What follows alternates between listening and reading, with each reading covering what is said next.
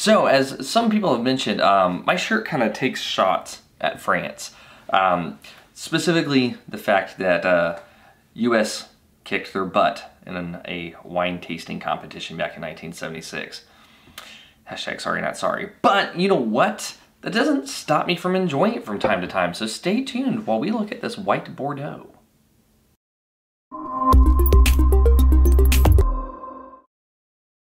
Hey everybody, this is Stuart with Wine on the Dime, and today, well, I'm going to be reviewing this wine, and I normally just rattle off the name, but I suck at French, and I'm gonna need the help, so I'm gonna actually read the label. Uh, this is the 2016 Chateau Tour de Bonnet uh, from uh, Bordeaux, specifically uh, Entrée de Mur. I probably just butchered that. Mers, Entrée de Mer, du Mers, Entrée du Mers.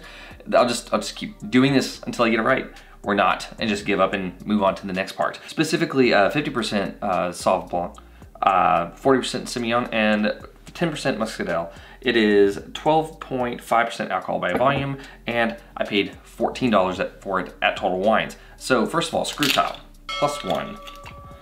And let's take a look at this. All right, so from a color standpoint, well, I'd say you're leaning towards pale lemon. Pale lemon, no artifacts, no cloudiness. Actually, no, correct that. You are a pale lemon green. No artifacts, no cloudiness. There's, now I'm looking at you, there is a definitive green note. Pale lemon green, no artifacts, no cloudiness. From a nose standpoint, whoa, whoa I, I always forget how much fun you can have with a good blend. So this, this is, this is gonna be a cool wine. So the first thing I'm getting is like a funky grass with a little bit of pear, jasmine note, like as in the flower, yes, jasmine flower, uh, a sour grape, a little bit of green apple. I said funky grass already, right? I said funky grass. All right, a little bit of orange peel. It's gonna sound weird. It smells, it's, it's very minerally. It, it, it, smells like it just has a lot of minerality coming out of it. It, it smells like whetstone. All right, so now let's get to the taste. Okay, interesting. All right, let's see how this plays. Let's see how this plays. All right, so you got a medium finish. All right, so this this wine actually has some very interesting characteristics to it compared to if you just ordered a Sauvignon Blanc or a Semillon or something like that. Um, there's there is some difference whenever you blend all these things together. Um, so first of all, let's talk about a little bit before I go too much into this. Let's talk about what what those grapes blended together do for the wine. So uh, the Sauvignon Blanc is a very highly aromatic grape. So it's gonna add a lot of primary fruit aromatics to it. It's also gonna provide some acid. Uh, the Semillon is gonna provide the backbone of the wine in terms of the body because it has a little bit higher residual sugar. Um, it also will add some sort of like floral notes like honeysuckle and or honey if the wine is actually aged some. Uh, and then on the note for the muscadelle, the muscadelle is a very grapey, well, grape. It's not a muscat, but it has very similar qualities to it. But a muscadelle is the minor amount because it's trying to, it's just trying to provide a little more aromatics and complexity into, into this wine.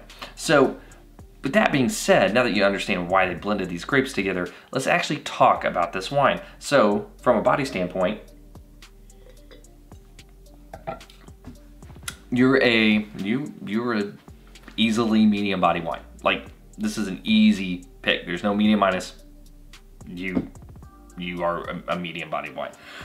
Uh, medium alcohol, medium finish, as I had already mentioned, medium acid, slightly, uh, there's a slight salinity to it. The things I'm getting the most in terms of uh, primary fruit, uh, I'm getting a little bit of green apple. I'm getting a lot of pear. I am getting a slight grape note. Uh, it's like a red grape almost. It's, it's a little bit more or sweeter. I, I, would say this wine is off dry. It's very smooth, just very, very smooth mouth textured wine. I'm also getting that, that wet stone I was telling you about. There's that nice grassiness that pops in. That grassiness probably is from the Sauv Blanc. Uh, it's probably the wet stone as well.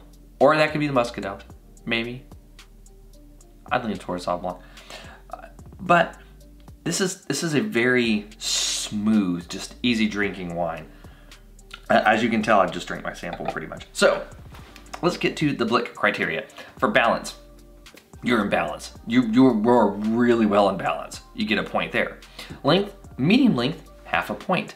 Intensity, I'm gonna give you medium intensity. You do have intensity and you have equal intensity across the board. It's just not like popping in and out. It's not all over the place. But that's gonna be okay and I'll get to that in a second. Complexity standpoint, I am getting these nice minerality notes. I'm getting these like grassy notes. I'm getting this primary fruit and I'm getting some like citrusy notes. I'm getting green notes. You do have lots of complexity. I don't have any aging though. Uh, so I'm not getting a honey notes or anything like that. So I'm gonna give you half a point. All right, so that comes out to two and a half points. Uh, whew, this is gonna be a tough one. I'm gonna give you very good on this one.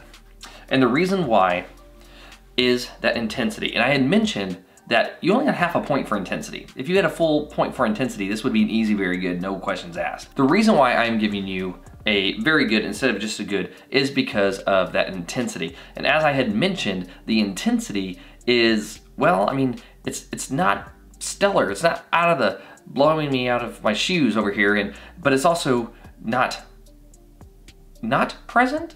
I'm trying to figure out how to say this. I'm, I'm, I'm having horrible speech day today, but what it does do is it does lend itself to do what a lot of old school wines do very well, which is be paired with food and not overpower the dish. So there's some new world wines that do that pretty well. Um, right now I'm specifically thinking of like Zinfandel and barbecue, uh, things like that. But one of the things I like about French and Italian wines is they're made to kind of pair with the food in the area exceptionally well. So a lot of Italian wines are, are made in that region's style because they pair well with that food in the region. And a lot of French wines are like that too. So for example, I'm going to have a seafood soup tonight and I think this wine is going to be an amazing companion with it because it's gonna play very well with it and not try to overpower it. And one of the things you wanna make sure you're always doing when you're doing your food pairings is a like for like pairing.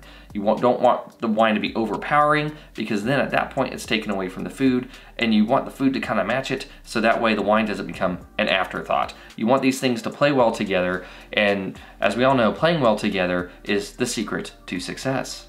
Anyway, this has been Stuart with Wine on the Dime. If you liked today's video, please like, subscribe, and comment. Have you tried, I'm gonna have to look at the bottle again, the Chateau Tour de Bonnet? I'd be interested to know if you have. Leave a comment below, and I'll see you all again soon with another episode from Wine on the Dime. In the meantime, uh, well, I have to go down and start cooking, and uh, you know what? I might sip on a little of this wine while I'm doing it. Hopefully there's some left for the main dish. Can't guarantee it, Maybe. We'll find out. Okay, I'll see y'all later. Bye.